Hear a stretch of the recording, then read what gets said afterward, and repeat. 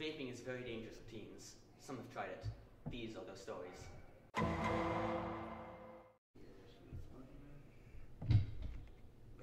Bro, don't get caught, okay? Yeah, yo, we could get suspended, bro. Yeah, I know. That's why I said you should not get